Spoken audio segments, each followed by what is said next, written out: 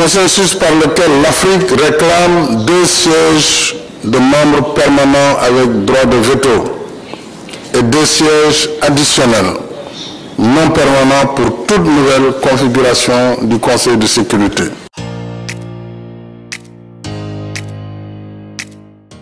On ne peut pas régler des problèmes africains sans les Africains.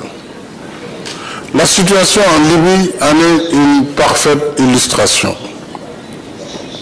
C'est pourquoi, sur ce cas particulier, l'Union africaine n'a de cesse de réclamer la nomination d'un envoyé spécial conjoint au Union africaine pour aider au règlement de la crise libyenne.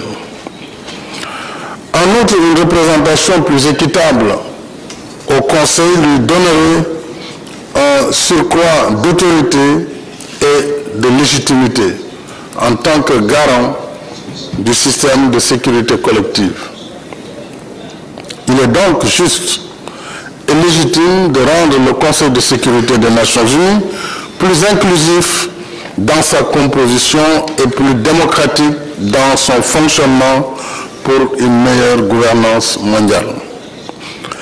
Il n'est pas superflu de revenir ici sur la légitimité de cette revendication.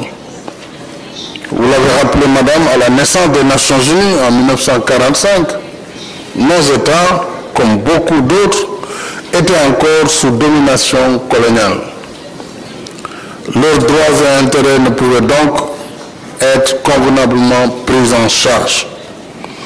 Aujourd'hui, l'Afrique compte le plus grand nombre d'adhérents aux Nations Unies, avec 54 États membres.